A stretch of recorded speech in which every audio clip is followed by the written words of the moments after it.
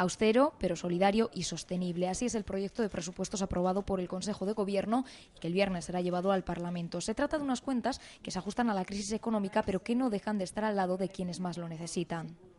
Vuelvo a poner el acento en los aspectos que guían este presupuesto, que será inevitablemente ligado, está inevitablemente ligado a la austeridad.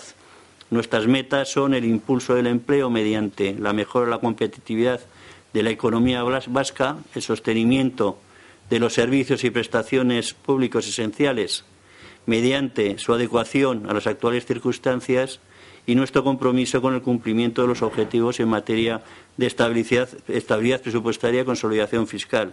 Son unos presupuestos razonados y razonables, pensados para el bien común de esta sociedad, solidarios porque se han diseñado para no dejar a nadie abandonado a su suerte, ahora y en el futuro, y sostenibles por su implicación en el diseño de un nuevo modelo económico para Euskadi. Los tres objetivos fundamentales de estos presupuestos de 2012 son la creación de empleo, garantizar los servicios y las prestaciones sociales y la consolidación fiscal.